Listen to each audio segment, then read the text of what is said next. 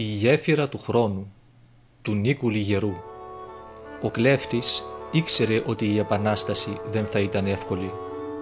Όταν άρχισε το 1821 κανένας δεν πίστευε σε αυτήν. Κι όμως μετά από μήνες οι δικοί μας άλλαξαν. Ο Μοριάς με τον Γέρο είχε δείξει το παράδειγμα. Σίγουρα η Θράκη δεν ήταν Πελοπόννησος σκέφτηκε και η απελευθέρωσή της δεν θα ήταν άμεση. Οι αποστάσεις με την Κωνσταντινούπολη άλλαζαν τα δεδομένα, αλλά ήταν το μοναδικό σημείο αναφοράς. Κοίταξε τον κάμπο του, όπως έκανε ο γέρος. Ήξερε ότι θα υποφέρει και πάλι. Ήξερε ότι η ελευθερία θα χρειαζόταν θυσίες.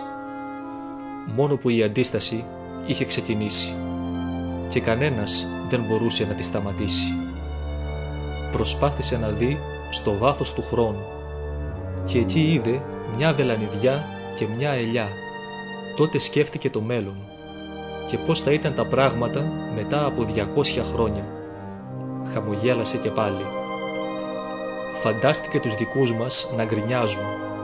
Φαντάστηκε τα παράπονά τους, τις παραγγελίες τους, τις απαιτήσεις τους και τα χατήρια τους. Έτσι αποφάσισε να αρχίσει το θαύμα, με όλες τις δυνάμεις του. Θα έχτιζε τη γέφυρα του χρόνου, για να περπατήσουν πάνω στο αδιανόητο.